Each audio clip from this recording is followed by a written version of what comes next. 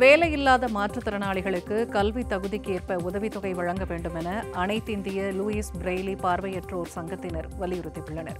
சென்னை பத்திரிகையாளர் மன்றத்தில் செய்தியாளர்களை சந்தித்த அச்சங்கத்தின் நிர்வாகிகள் வாய்ப்பு வசதியற்ற மாற்றுத்திறனாளிகளின் முதல் தலைமுறைக்கு வேலைவாய்ப்பு உள்ளிட்ட அனைத்து துறைகளிலும் முன்னுரிமை வழங்க வேண்டும் என்றும் அதற்கு மத்திய மாநில அரசுகள் சிறப்பு சட்டம் இயற்ற வேண்டும் என்றும் வலியுறுத்தினர். ஏற்கனவே இயற்றப்பட்டுள்ள பாராளுமன்ற சட்ட அங்கீகாரத்தின் அடிப்படையிலே பார்வையற்ற பிற மாற்றுத்திறனாளிகளுக்கான இட ஒதுக்கீட்டின் அடிப்படையில் அனைத்து துறைகளிலும் வேலைவாய்ப்பு உட்பட அனைத்து துறைகளிலும் அந்த ஒதுக்கீடுகள் முறையாக வழங்கப்படுதல் சம்பந்தப்பட்ட சிறப்பானை வெளியிடப்படுதல். பார்வையற்ற பிற மாற்றுத்திறனாளிகளுக்கு இன்று சிறப்பாணைகள் இருக்கின்றனவோ சிறப்பு சட்டங்கள் இருக்கின்றனவோ அதே சட்டங்களை அவர்களின் முதல் தலைமுறையினருக்கு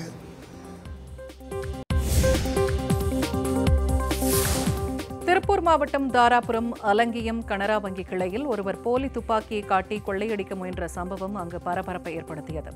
தாராபுரம் அருகே உள்ள அலங்கியம் கிராமத்தை சேர்ந்த சுரேஷ் என்பவர் கருப்பு நிற பர்தா அணிந்தபடி போலி துப்பாக்கி மற்றும் டைம் பாம்ப் செய்து வங்கி மேலாளரை மிரட்டி கொள்ளையடிக்கும் முயற்சியில் ஈடுபட்டார்.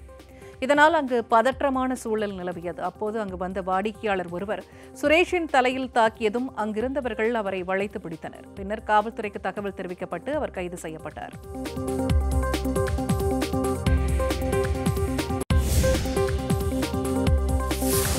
திண்டுக்கல் மாவட்டம் பழனி தண்டாயுதபாணி கோவிலில் தைப்பூசத்தின் முக்கிய நிகழ்வான தைப்பூச தேரோட்டம் இன்று நடைபெற்றது.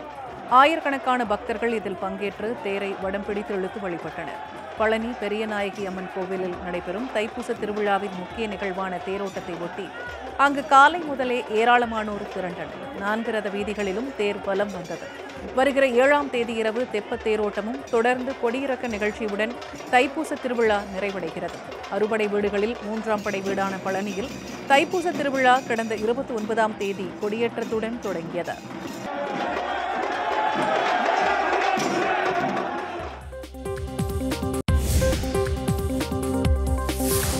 திருவண்ணாமலை அருணாச்சலேஸ்வரர் திருக்கோயிலின் கிரிவல பாதையில் உள்ள ஈசானிய குளத்தில் தைப்பூசத்தை முன்னிட்டு அண்ணாமலையார் உடனாகிய உண்ணாமுலையம்மன் தீர்த்தவாரி வெகு சிறப்பாக நடைபெற்றது. முன்னதாக அண்ணாமலையார் உடனாகிய உண்ணாமுலையம்மனுக்கு சிறப்பு அபிஷேக ஆராதனைகள் நடைபெற்றன. பின்னர் திருக்கோவிலில் இருந்து புறப்பட்டு நான்கு மாட வீதிகளை சுற்றி ஊர்வலமாக ஈசானிய குளத்தின் அருகே சுவாமி மற்றும் அம்பாள் சென்றடைந்தனர். அங்கு அங்குசதேவருக்கு சிறப்பு அபிஷேகத்துடன் தீர்த்தவாரி நிகழ்ச்சி நடைபெற்றது.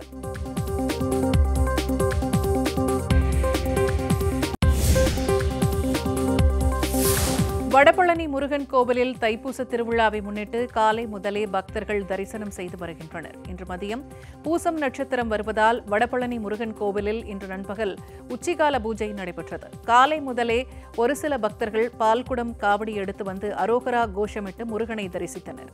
பால்குடம் இலவச தரிசனம் கட்டண தரிசனத்தில் பக்தர்கள் தரிசிக்க தடுப்புகள் அமைத்து தனி வழிகள் ஏற்பாடு செய்யப்பட்டது. மேலும் நூற்றுக்கும் மேற்பட்ட காவலர்கள் பாதுகாப்பு பணியில் ஈடுபட்டனர்.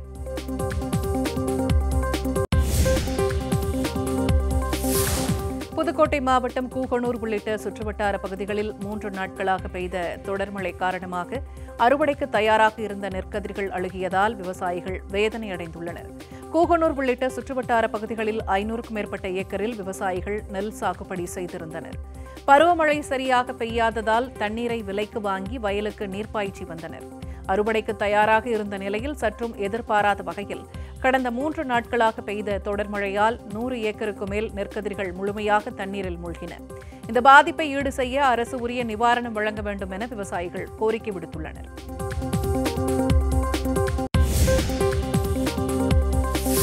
திருவண்ணாமலை அருகே பட்டப்பகலில் கள்ளச்சாராயம் காய்ச்சியவரை தட்டி கேட்ட பெண்ணை தலையில் தாக்கியதில் பலத்த காயம் ஏற்பட்டு செங்கம் அரசு மருத்துவமனைக்கு சிகிச்சைக்காக அனுமதிக்கப்பட்டார். அன்வராபாத்தை சேர்ந்த பட்டு என்ற பெண்ணின் வீட்டின் அருகே வசித்து வரும் மணி என்பவர். பட்டப்பகலில் வீட்டிற்குள்ளே கள்ளச்சாராயம் காய்ச்சி விற்று வருவதால் மன உளைச்சலுக்காளான பட்டு மணியை தட்டி கேட்டுள்ளார். இதனால் ஆத்திரமடைந்த மணி அவரை கற்களால் தலையில் தாக்கியதில் பலத்த காயம் ஏற்பட்டு செங்கம் அரசு மருத்துவமனையில் சேர்க்கப்பட்ட நிலையில் மேல் சிகிச்சை அளிக்க திருவண்ணாமலை அரசு மருத்துவக் கல்லூரி மருத்துவமனையில் அனுமதிக்கப்பட்டார். காவல்துறையினர் உரிய நடவடிக்கை எடுக்க வேண்டும் என பாதிக்கப்பட்ட பெண் கோரிக்கை விடுத்துள்ளார்.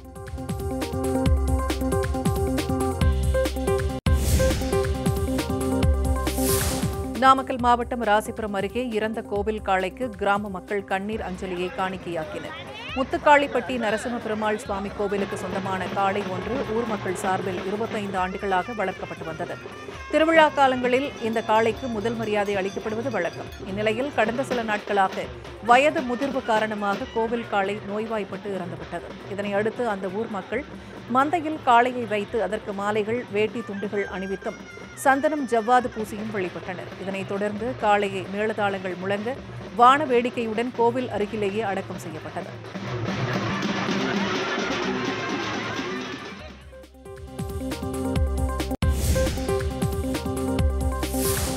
ஆத்தூரில் காரைக்கால் பெங்களூரு விரைவு ரயில் மீது மர்ம நபர்கள் கல் வீசியதில் ஒரு பெண் படுகாயமடைந்து மருத்துவமனையில் அனுமதிக்கப்பட்டுள்ளார்.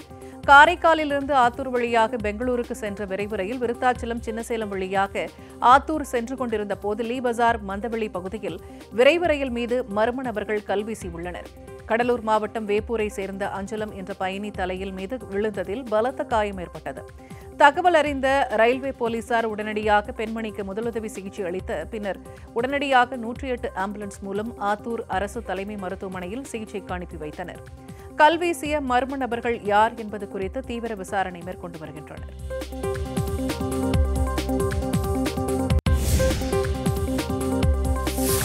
மதுரை அரசு ராஜாஜி மருத்துவமனை கழிவுநீர் தொட்டியில் இறந்த நிலையில் பெண் சிசு மீட்கப்பட்ட சம்பவம் அங்கு பரபரப்பை ஏற்படுத்தியது. தாய் செய் நலப்பிரிவு முன்பாக உள்ள கழிவுநீர் தொட்டியில் பிறந்து சில மணி நேரங்களே ஆன பச்சிளங்குழந்தையை பார்த்த பொதுமக்கள் அது குறித்து காவல்துறையினருக்கு தகவல் தெரிவித்தனர்.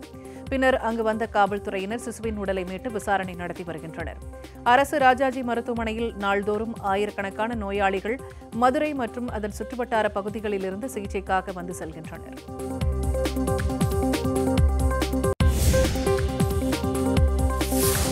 திருப்பத்தூர் மாவட்டம் பெருமாப்பட்டு பகுதியில் நடந்த இறுதிவிடும் திருவிழாவில் செய்தி சேகரிக்க சென்ற தனியார் தொலைக்காட்சி நிருபர் உட்பட இருபத்தைந்துக்கும் மேற்பட்டோர் மாடு முட்டி படுகாயமடைந்தனர் குடியரசு தினத்தை முன்னிட்டு அங்கு இறுதிவிடும் திருவிழா நடைபெற்றது. சுற்றுவட்டார பகுதிகளில் இருந்து சுமார் முன்னூறுக்கும் மேற்பட்ட காளைகள் இதில் களமிறக்கப்பட்டன. இந்த திருவிழாவிற்கு மாவட்ட நிர்வாகம் பல்வேறு கட்டுப்பாடுகளையும் சட்ட விதிகளையும் விதித்து அனுமதி கொடுத்தது. இந்த விழாவில் மாடு முட்டி படுகாயம் அடைந்தவர்கள் அரசு மருத்துவமனையில் சிகிச்சைக்காக அனுமதிக்கப்பட்டனர்.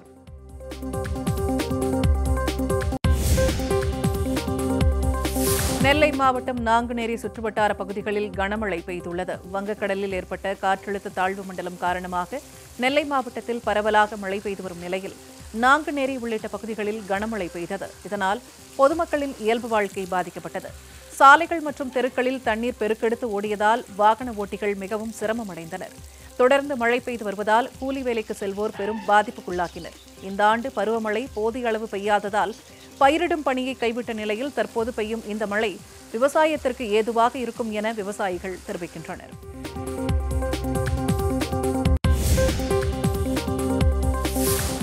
திருவாரூர் மாவட்டம் மன்னார்குடியில் வெறிநாய் கடித்து முப்பதுக்கும் மேற்பட்டோர் காயமடைந்துள்ளனர். நடராஜ பிள்ளை தெருவை சேர்ந்த மகேஸ்வரி என்பவரை அந்த பகுதியில் சுற்றித் திரிந்த வெறிநாய் ஒன்று கடித்துள்ளது.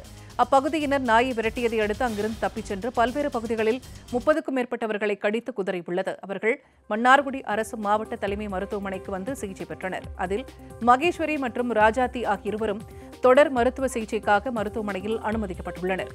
நகராட்சி நிர்வாகம் வெறிநாயை பிடித்து மேலும் இதுபோன்று நடைபெறாமல் நடவடிக்கை எடுக்க வேண்டும் என்று பொதுமக்கள் வலியுறுத்தியுள்ளனர்.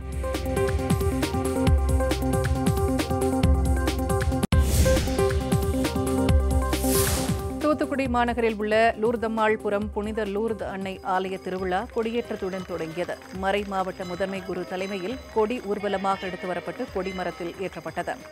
தொடர்ந்து திருப்பலி மறைவுரை நடைபெற்றது. இதில் ஏராளமான கிறிஸ்தவர்கள் கலந்து கொண்டு வழிபாடு செய்தனர். விழாவின் முக்கிய நிகழ்வான ஆண்டு பெருவிழா ஆடம்பர கூட்டு திருப்பலி வருகின்ற பனிரெண்டாம் தேதி நடைபெறுகிறது.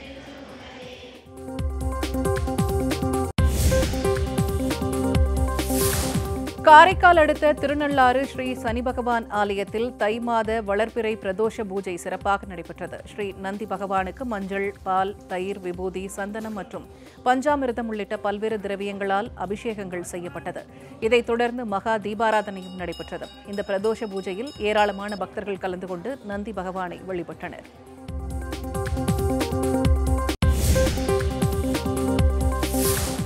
கிருஷ்ணகிரி மாவட்டம் ஊத்தங்கரை அருகே பள்ளி குழந்தைகளுக்கு சமையல் அறை மற்றும் கழிவறைகள் இல்லாத நிலையில் அங்கன்வாடி மையம் செயல்பட்டு வருகிறது. சுமார் நாற்பது குழந்தைகள் பயின்று வரும் இந்த அங்கன்வாடி மையம் கடந்த சில ஆண்டுகளாக மிகவும் சிதிலமடைந்து காணப்படுகிறது. இதனை பழுதுபார்க்கும் பணிக்காக சென்ற சென்ற ஆண்டு இரண்டு லட்சம் ரூபாய் ஒதுக்கப்பட்டு அதற்கான பணியும் நடைபெற்றது. ஆனால் அந்த பணிகளை முறையாக செய்யாததால் பள்ளியில் உள்ள கழிவறைகள் சமையலறை போன்றவை சிதிலமடைந்து காணப்படுகின்றன. இதுகுறித்து மாவட்ட கல்வி அலுவலர்களிடம் பலமுறை புகார் அளித்தும் இதுவரை எவ்வித நடவடிக்கையும் எடுக்கவில்லை என அப்பகுதி மக்கள் தெரிவிக்கின்றனர்.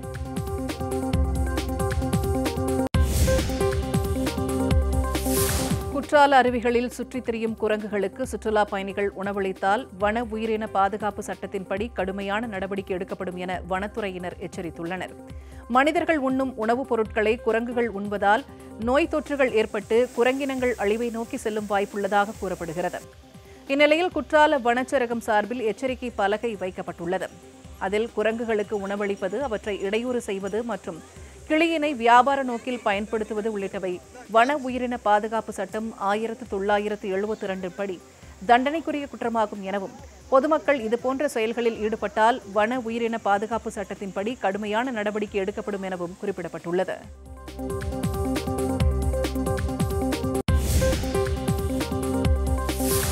ஈரோடு கிழக்கு சட்டமன்ற இடைத்தேர்தலில் திமுக அமைச்சர்கள் நேரடி பணப்பட்டுவாடா செய்வதாக தமிழ்நாடு தலைமை தேர்தல் அதிகாரியிடம் தேமுதிக வழக்கறிஞர்கள் பிரிவு நிர்வாகிகள் புகார் தெரிவித்துள்ளனர். இதுகுறித்து செய்தியாளர்களிடம் பேசிய தேமுதிக மாநில வழக்கறிஞர் துணை செயலாளர் ஜனார்த்தனன் தற்போது நடக்கவுள்ள ஈரோடு சட்டமன்ற இடைத்தேர்தலில் ஆளுங்கட்சியினர் தொடர்ந்து முறைகேட்டில் ஈடுபடுவதாகவும் அப்பகுதியில் பணப்பட்டுவாடா செய்ய அமைச்சர்கள் முகாமிட்டுள்ளதாகவும் குற்றம் சாட்டினார். இதுகுறித்து ஈரோடு மாவட்ட ஆட்சியரிடம் புகார் அளித்தும் எந்தவித நடவடிக்கையும் எடுக்காததால் தற்போது தமிழ்நாடு தலைமை தேர்தல் அதிகாரியிடம் புகார் மனு அளிக்கப்பட்டுள்ளதாக தெரிவித்தார்.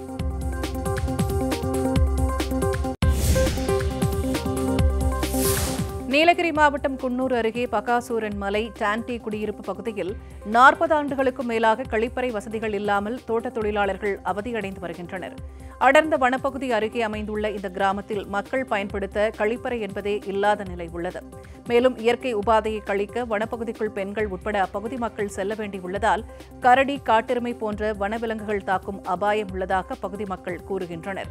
இது சம்பந்தமாக பலமுறை மாவட்ட நிர்வாகத்திடம் புகார் அளித்தும் நடவடிக்கை எடுக்காத நிலையில் மாவட்ட நிர்வாகம் உடனடியாக கழிப்பறை அமைத்து தர தோட்ட தொழிலாளர்கள் கோரிக்கை விடுத்துள்ளனர்.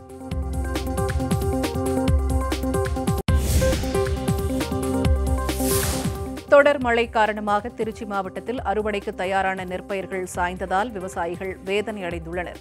திருச்சி மாவட்டத்தில் சுமார் ஒரு லட்சம் ஏக்கர் பரப்பளவில் சம்பா சாகுபடி மேற்கொள்ளப்பட்டுள்ளது. தற்போது தொடர் மழை காரணமாக வயலூர் லால்குடி மன்னச்சநல்லூர் உள்ளிட்ட முப்பதுக்கும் மேற்பட்ட கிராமங்களில் அறுவடைக்கு தயாராக இருந்த நான்காயிரம் ஏக்கர் பரப்பிலான சம்பா நெற்பயிர்கள் சாய்ந்துள்ளது. உரிய மகசூல் கிடைக்காது என்பதால் வேதனையடைந்த விவசாயிகள் பாதிக்கப்பட்ட பகுதிகளை வருவாய்த்துறையினர் பார்வையிட்டு மத்திய அரசின் காப்பீட்டுத் தொகையினை பெற்றுத்தர நடவடிக்கை எடுக்க வேண்டும் என்றும் தமிழக அரசு சார்பில் இழப்பீடு வழங்கவும் உரிய நடவடிக்கை எடுக்க வேண்டும் எனவும் கோரிக்கை விடுத்துள்ளனர்.